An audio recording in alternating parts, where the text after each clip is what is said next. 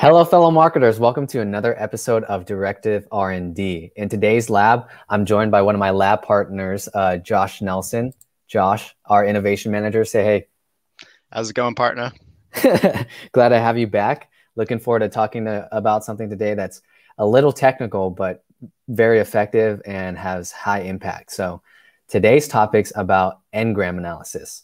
It's a fancy way of saying you're taking a bunch of words and uh, analyzing it all to to find commonalities and trends between that grouping of words. And grams are like strings of words, and n n stands for a variable. So you might be looking at two words together, three words together, one word together. Um, weird concept, but why we use it is to find uh, specifically for PPC and Google Ads is to find um, top performing trends and low performing trends with your keywords and search terms. So without further ado, I'm gonna share my screen a little bit and share more of the tactical uh, knowledge behind it. And Josh is gonna help me. So let me add my stream here real quick. Cool. So um, Josh, talk to me about Optmyzr. What am I looking at here? Yeah, so you're looking at uh, their built-in n-gram analysis analyzer tool. Um, mm-hmm. It's got a nice uh, word cloud. You're able to select how many grams you want to go down to and picking search terms by either clicks, conversions, or what have you. Mm-hmm. Um, and it just gives you a really good view of what the core of what you want to find in an n-gram analysis. Right. And you can do this for good things, bad things, right? So you can sort by whatever KPI. Or is there a certain KPI or metric you like to use to sort by?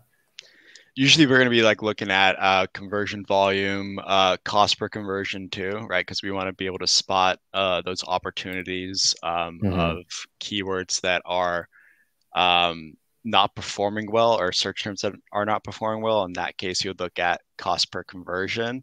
Mm-hmm. Um, and then if you're looking for any opportunities for like new keywords to add to the account, uh, or just top performers, you would look at conversion volume as well as conversion rate and all that. Nice. And one of the cool things about Optmyzr is that you can like start selecting things and start making changes to your account based on these findings, right? Mm-hmm. Yeah, it makes it all very easy. It's all built in, so you don't have to like go through the trouble of creating a script, going through the Excel file, going back in to uh, add in those negatives and whatnot. Optmyzr really makes it easy to kind of do everything within the platform. Right, right. Um, any tips for people trying to do this analysis using a, a tool like this?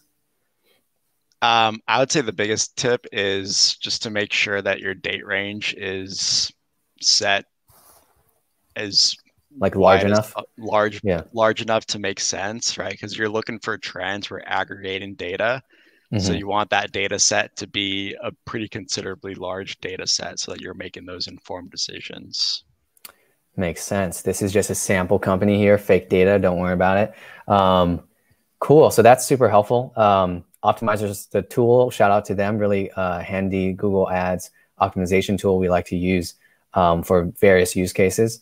Um, Sweet. So say if uh, for our listeners that are running paid campaigns or PPC campaigns in Google Ads, um, are are there other ways to uh, do the n-gram analysis? There are. There's uh, a script that you could find um, just by googling n-gram analysis Google Ads. It's on Search Engine Land. Um, but uh, this is put together by Brainlabs. Just throw this script into your Google Ads account. There's instructions in there, but this will do, it'll uh, create a spreadsheet in Google Sheets so they can go in there and start your uh, doing your analysis and whatnot. Very cool. I remember I was intimidated years ago trying to run this the first time, but it's not that bad. I think the instructions are pretty clear. Uh, shout out to BrainLabs for putting this together for us noobs back in the day. But you can uh, just copy all of this, go to scripts within Google Ads. Um, you can search it at the top of the dashboard scripts and you'll find where to go. And then the instructions are pretty clear um, on what you're trying to look for. And uh, I have another example here. Um, let me jump to this. Um, so this is the output. Is that right, Josh? Correct. Yeah. So it'll give you like based off of like what you enter into the script, and it's easy to configure. You only got to fill in like five spaces in the script. mm-hmm. uh, but it'll give you a count uh, word level, two gram campaign, all the way down to the ad group level. So it's um, gets pretty deep. Very cool. Yeah. So yeah, feel free to use that. Another free tool is this cool ngram analyzer analyzer tool. Um, I like to use this for aggregating lots of text, whether it's reviews or other details that I can I want to analyze a lot of words at once to see if there's commonalities. You can you can do an export of Google and Google Ads of the top performing search terms or the worst performing ones if you want to get rid of negatives, um, and dump them in here, and then you'll be able to change this to see one, two, three grams, um, meaning words in that phrase, and then use that. So that one's a free tool as well. You just had to to Google Ngram Analyzer. Um, but yeah, let me stop sharing here and we can kind of talk about more a little bit around the use case. Um, so when when would an ngram analysis be be you know useful for paid media? Is it when it's a giant account right from the beginning? When when do you think it's the best useful?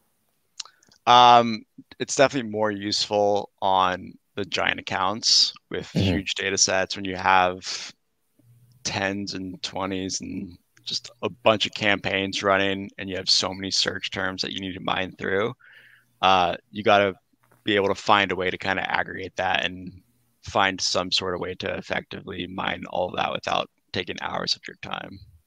Right that makes sense. And you can do it both for looking for bad performing terms as well as good performing terms right? Mm-hmm. yep. Nice. Yeah so um how often do you would you say for people to kind of uh, run this type of analysis? Uh, I mean, it all depends on how much you're spending, but I mean, a good rule of thumb is to do like at least like once. I don't want to like say a specific number, but right. uh, like at least once a month, really. Yeah, um, if you're least... spending a lot, um, you can do once a week, but it's really yeah. like my go-to if I'm going to try to make large moves in uh, cleaning up uh, any sort of search terms. Yeah, that makes sense. Yeah, that's a loaded question. It's whatever, whenever you can. Depends on how much data you have and the spend and the scale you have. But yeah, um, highly recommend the viewers check out this this technique, this tactic that um, might be able to improve your PPC performance. Um, yeah, and Josh, thanks for being here. If you have any questions, feel free to leave a comment in this post, and we will get back to you. Um, if you're running into any issues with trying to implement this. But thanks, Josh, for uh, showing up today, and uh, we'll see you next time. All right. See you later.